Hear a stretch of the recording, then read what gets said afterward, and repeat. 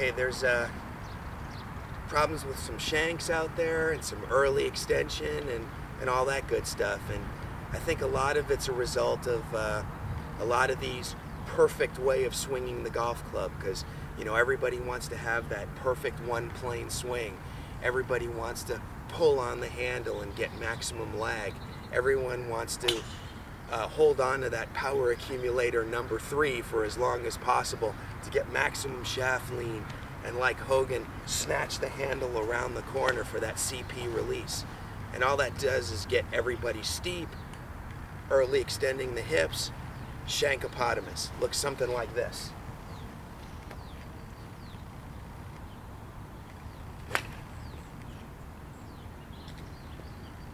Okay, that's no good. So, needed another ball here. So the way to combat that is you need to shallow the shaft by using a proper lower body and upper body sequence in the transition. And I've come up with a drill that I call the miss drill. Now you can cheat on this drill and it's not going to do you any good. So what you're trying to do is, is you're trying to use the lower body to create space where you take a perfect divot and completely miss the ball on the inside, okay? So address the ball the way you would address it normally, and then use the lower body to shift and turn and create enough space where you completely miss the ball on the inside, but take a nice divot, okay? What this, what people have several different epiphanies when they do this. They'll look at me and they'll go, wow, I have so much more room. I don't do anything like that. Feels like the club is behind me and yet I made a really good shot. These are the kinds of words that come out of people's mouths.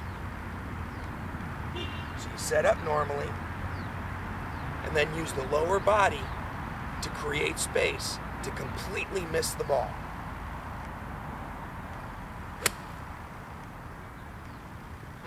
Okay, so I missed the ball a good two or three inches on the inside and took a nice divot. And what you'll see is is I probably kept the club out in front of me going back so the left arm didn't go low and inside. And then my lower body created a situation where the club really had to shallow in order to get on the inside of the ball. So there's two ways you can use this drill.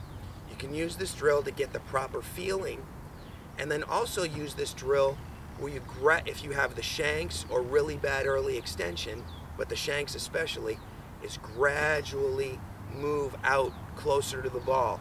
Like first start trying to hit the ball off the grooves on the edge here and make sure there's no one immediately to your right when you're doing that obviously. And then you'll feel yourself gradually working the middle of the club face out to the ball. But the most important part about this drill is it gets your lower body moving in a way where you don't early extend and you shallow the shaft. So give it a try and you can't cheat. That's the most important part. You don't want to be giving it one of these.